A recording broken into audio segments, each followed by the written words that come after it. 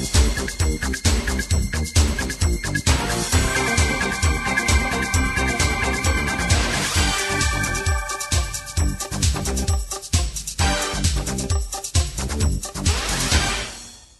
chào quý vị và các bạn đang đến với chương trình truyền hình Thủy sản do hội nhập. Chương trình do VTV9 Đài truyền hình Việt Nam, hãng phim Tây Việt cùng phối hợp với Hiệp hội chế biến xuất khẩu thủy sản Việt Nam và xếp thực hiện.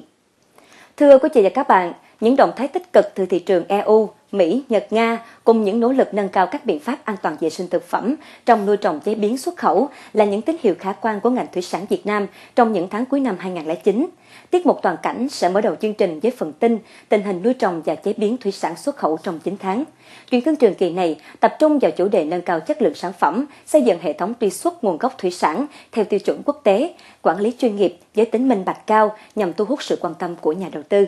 Một thương hiệu sẽ giới thiệu đến quý vị một nghề truyền thống của ngư dân Kiên Giang, nghề thẻ mật ở Phú Quốc. Bây giờ là nội dung đầu tiên của chương trình.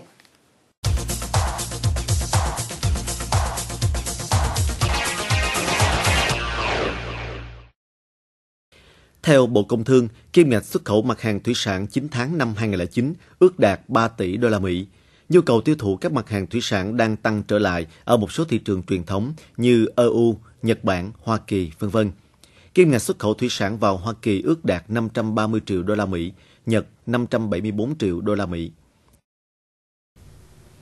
Xuất khẩu cá tra Việt Nam sẽ bị Philippines cạnh tranh, đó là nhận định của Hiệp hội Chế biến và Xuất khẩu Thủy sản Việt Nam. Ngư dân tỉnh Lanao del Norte, Philippines đang được khuyến khích nuôi cá tra, trước mắt là tiêu thụ nội địa, sau đó sẽ xuất khẩu. Cá tra có tiềm năng xuất khẩu rất lớn, chỉ đứng sau cá ngừ. Loài cá này được nuôi đại trà đầu tiên ở sông Mekong thuộc Việt Nam và nó đã được nuôi thử nghiệm thành công ở nhiều vùng.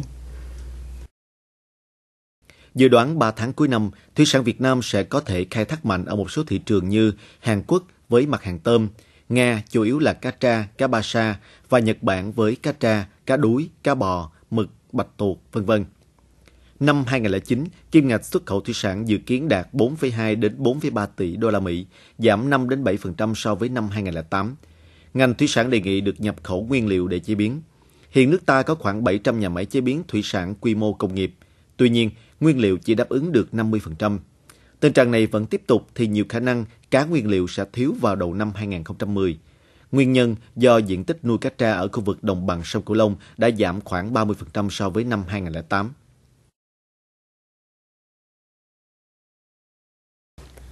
Công nghệ năng lượng mặt trời đang được ứng dụng thử nghiệm vào quy trình nuôi tôm công nghiệp tại tỉnh Bạc Liêu với diện tích 5 hecta, tại đầm dơi Cà Mau là 0,3 hecta. Qua thời gian thí điểm công nghệ bơm khí bằng năng lượng mặt trời kết hợp với việc sử dụng vi sinh vật vào nuôi tôm công nghiệp ở Cà Mau, thấy giảm tối đa chi phí nhiên liệu, thức ăn, đồng thời tạo ra môi trường sạch cho tôm phát triển nhanh. Hệ thống thiết bị hoàn toàn ứng dụng từ những tấm hấp thu năng lượng mặt trời. Năng lượng hấp thu được chuyển đến hệ thống bình ắc quy. Nguồn điện tích trữ trong bình ắc quy sẽ cung cấp dòng năng lượng để các thiết bị thổi khí oxy vận hành. Từ đó, lượng khí oxy được chuyển đến các vị trí gần đáy ao nhờ các ống dẫn khí, phân tán lượng oxy trong môi trường nước. Đặc biệt, bình tích trữ điện có thể giữ năng lượng cho hệ thống vận hành khí hoạt động trong thời gian 7 ngày. Toàn bộ hệ thống bơm khí bằng năng lượng mặt trời có tuổi thọ cao để cải thiện chất lượng nước trong ao nuôi, tạo nguồn đạm làm thức ăn cho tôm, rất cần việc sử dụng vi sinh vật định kỳ. So với cách nuôi thông thường, đối với cách nuôi ứng dụng công nghệ mới, tôm lớn nhanh nhưng tốn thức ăn ít, chỉ khoảng 27,5 kg cho 4 lần tôm ăn, lợi hơn so với 35 kg thức ăn cho 4 lần tôm ăn theo cách nuôi thông thường. Cục Quản lý Chất lượng Nông lâm Thủy sản thuộc Bộ Nông nghiệp và Phát triển Nông thôn đang triển khai thí điểm hệ thống truy xuất nguồn gốc thông qua mã số, mã vạch đối với các mặt hàng thủy sản cho khoảng 50.000 hộ nuôi thủy sản ở hai tỉnh An Giang và Bến Tre. Chương trình được sự tài trợ của Đan Mạch. Quy trình này thực hiện từ khâu đầu vào, con giống sẽ có một nhãn truy xuất từ nhà cung cấp.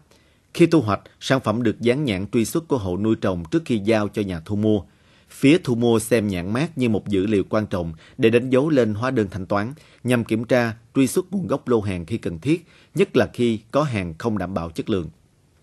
Theo Sở Nông nghiệp và Phát triển Nông thôn Đồng Tháp, hiện toàn tỉnh có gần 1.500 hecta thả nuôi cá tra, dự kiến tăng lên 1.550 hecta vào cuối năm 2009, vượt gần 600 hecta so với kế hoạch. Gần 100% diện tích nuôi cá tra theo Chi cục Thủy sản tỉnh đã ký kết hợp đồng tiêu thụ giữa người nuôi và doanh nghiệp. Tuy nhiên, theo Ngân hàng Nhà nước chi nhánh Đồng Tháp, chỉ khoảng 30% số hợp đồng đúng thực chất, số còn lại chỉ nhằm hợp thức hóa thủ tục vay vốn ngân hàng. Khi có biến động về giá, doanh nghiệp chỉ ưu tiên tiêu thụ sản phẩm của số hộ nuôi thuộc vùng nguyên liệu và khách hàng truyền thống.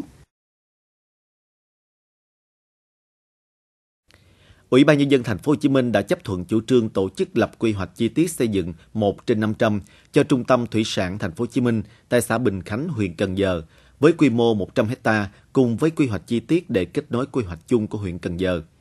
Điểm nhấn của quy hoạch này là tận dụng các điều kiện tự nhiên của sông, rạch để xây dựng cầu cảng, bến cảng và khai thác có hiệu quả tối đa về giao thông đường thủy. Ngoài việc tổ chức các hoạt động sản xuất, kinh doanh sản phẩm thủy sản, cần tổ chức tốt các dịch vụ hậu cần nghề cá và các dịch vụ kèm theo khác. Ủy ban nhân dân thành phố cũng thống nhất chủ trương tổ chức công tác tư vấn, lập dự án đầu tư xây dựng cảng, chợ cá và dự án đầu tư xây dựng hạ tầng, khu chế biến thủy sản và cơ sở hạ tầng dịch vụ nghề cá thuộc Trung tâm Thủy sản thành phố. Tại các địa phương ở đồng bằng sông Cửu Long đang mùa thu hoạch rộ vụ tôm chính năm 2009. Tôm sú loại 15 con cho 1 kg giá từ 148.000 đồng đến 150.000 đồng một ký, loại 40 con trên 1 kg giá 85.000 đồng một ký, loại 60 đến 100 con trên 1 kg giá từ 55.000 đồng đến 65.000 đồng một ký. Riêng tôm thẻ chân trắng loại 80 con cho 1 kg giá từ 50 đến 55.000 đồng một ký, loại 100 con cho 1 kg giá từ 45.000 đồng đến 48.000 đồng một ký. Theo đánh giá của các ngành chức năng và bà con nông dân, đây là một vụ tôm thắng lợi với năng suất và giá thành phẩm đều cao. Thông tin từ Bộ Nông nghiệp và Phát triển Nông thôn cho biết, trong những năm tới, mô hình sản xuất lúa, tôm tại đồng bằng sông Cửu Long có thể mở rộng hơn 200.000 hecta. Bảy tỉnh ven biển đồng bằng sông Cửu Long hiện đang phát triển khá mạnh mô hình sản xuất một vụ lúa, một vụ tôm với tổng diện tích trên 120.000 hecta. Kết quả mang lại nhiều lợi ích cho nông dân và tính bền vững về môi trường. Sản xuất theo mô hình lúa, tôm còn góp phần tạo ra sản phẩm sạch, an toàn, nâng cao giá trị hàng hóa của tôm và lúa thương phẩm. Theo Ủy ban Nhân dân tỉnh Bạc Liêu, từ đầu năm đến nay, sản lượng chế biến thủy sản của tỉnh đạt hơn 16.000 tấn, trong đó tôm hơn 15.000 tấn, xuất khẩu đạt gần 45% kế hoạch. Giá trị hàng hóa xuất khẩu đạt hơn 117 triệu đô la Mỹ. Dự báo đến cuối năm, sản lượng xuất khẩu thủy sản của Bạc Liêu sẽ tăng mạnh, do đây là những tháng cao điểm nông dân thu hoạch tôm và nhu cầu sử dụng thủy sản của các nước nhập khẩu tăng. Tuy nhiên, hoạt động sản xuất của nhiều doanh nghiệp xuất khẩu thủy sản trong tỉnh vẫn còn gặp nhiều khó khăn do không chủ động được nguồn nguyên liệu chế biến, sản phẩm thủy sản bị cạnh tranh về giá thành khá gây gắt.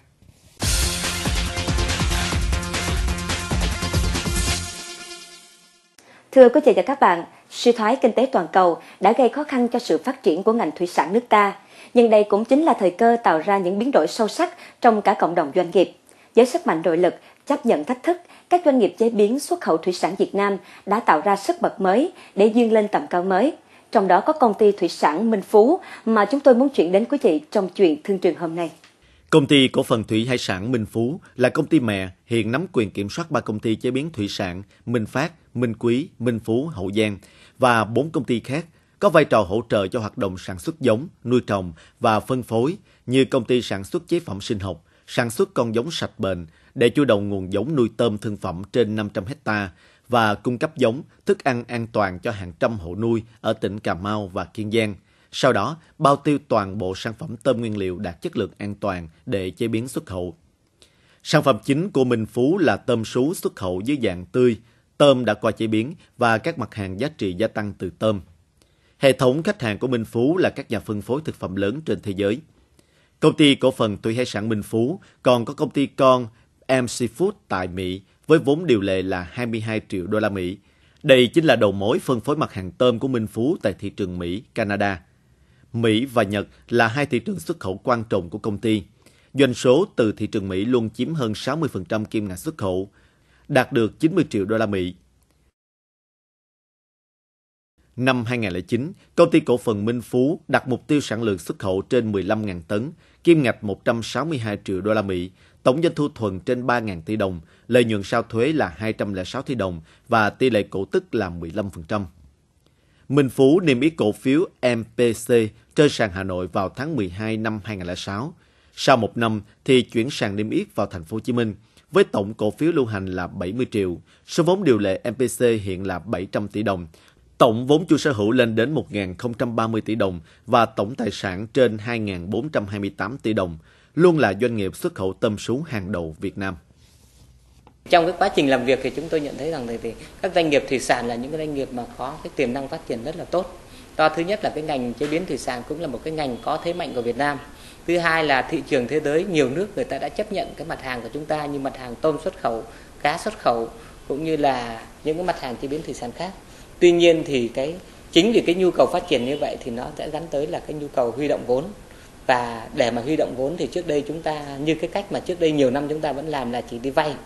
Vay và trên cơ sở đấy thì phải có cái tài sản thế chấp hay là nói chung là có khó khăn thì thị trường chứng khoán thì sẽ giải quyết cho được các doanh nghiệp cái nhu cầu là nhu cầu vốn, huy động vốn chủ sở hữu, tức là huy động vốn cổ đông đầu tư vào chúng ta.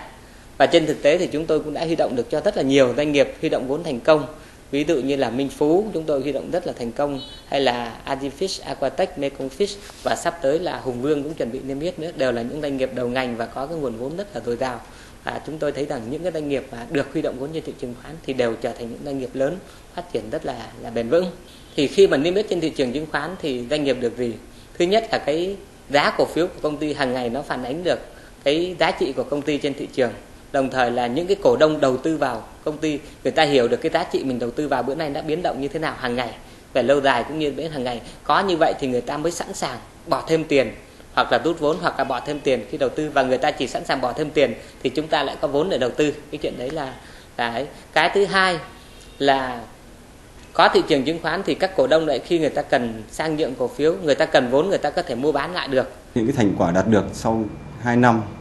niêm yết cổ phiếu trên thị trường chứng khoán thì mình có thể nhận thấy như sau thứ nhất là với cái sự tham gia của các cái cổ đông đặc biệt là các cổ đông chiến lược với những cái đóng góp của họ cho cái việc hoàn thiện cái hệ thống quản lý của công ty một cách chuyên nghiệp cũng như là việc mà đóng góp của,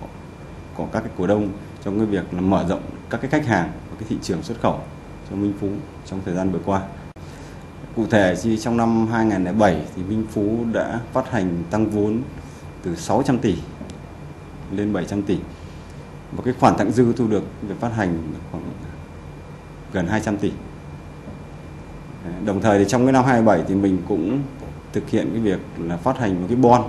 cái trái phiếu khoảng 200 tỷ với cái lãi suất rất là thấp để cơ cấu cái khoản nợ. Với kế hoạch mỗi năm tăng vốn trên 100 tỷ đồng, công ty cổ phần Thủy Hải sản Minh Phú đang định hướng cho một chiến lược lâu dài khi nhà máy chế biến tôm xuất khẩu Minh Phú Hậu Giang hoàn thành, có công suất chế biến 20.000 tấn tôm thành phẩm trong một năm, được cơ giới hóa, tự động hóa cao với dây chuyền công nghệ hiện đại mang tầm cỡ thế giới, chế biến nhiều mặt hàng tôm xuất khẩu mang lại giá trị trên 180 triệu đô la Mỹ một năm, mở đầu cho một chuỗi liên hợp sản xuất công nghiệp thủy sản trên khuôn viên 56 hecta tại huyện Châu Thành, tỉnh Hậu Giang. Về cái xây dựng cái kế hoạch cái kế hoạch của sản xuất kinh doanh của mình trong cái thời gian ờ, sắp tới đấy thì cái cái việc xây dựng thì mình đảm bảo duy trì tức là mình xây dựng cái kế hoạch để duy trì được cái cái hiệu quả của cái mức tăng trưởng cũng như là cái hiệu quả của cái, cái hoạt động sản xuất kinh doanh đáp ứng được cái kỳ vọng của các nhà đầu tư tăng giá của cái thị trường chứng khoán trong giai đoạn vừa rồi ấy thì ờ, nhất là đối với thị trường thủy sản và đối với Minh Phú ấy, thì cũng ờ, theo đánh giá của, của của công ty thì cổ phiếu của mình đã tăng giá tới trên 100% trong cái giai đoạn hai tháng vừa qua. Thì ngoài cái tính mà cái cái vấn đề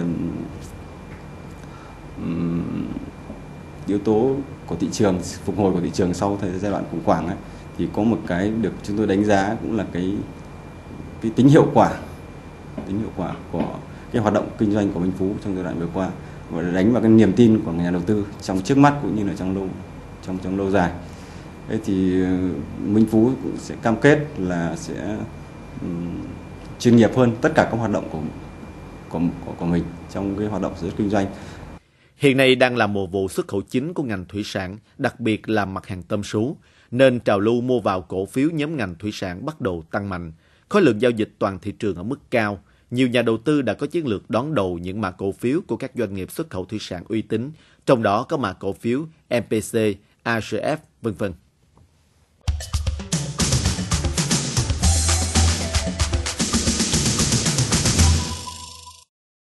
Thưa quý vị và các bạn, được thiên nhiên ưu đãi dùng biển Phú Quốc, tỉnh Kiên Giang thật hào phóng đã nuôi sống bao lớp người đi khai phá vùng đất phương Nam. Trong một thương hiệu hôm nay, chúng tôi xin giới thiệu một nghề có truyền thống gần 100 năm ở huyện đảo Phú Quốc, đó là nghề thẻ mực trên biển đen. Khi mặt trời sắp lặn trên biển Phú Quốc, cũng là lúc những ngư dân này bắt đầu một chuyến ra khơi với nghề thẻ mực.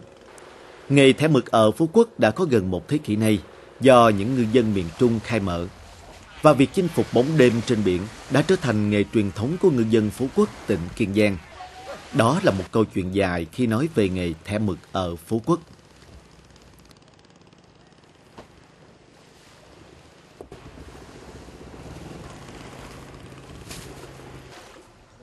Để có được những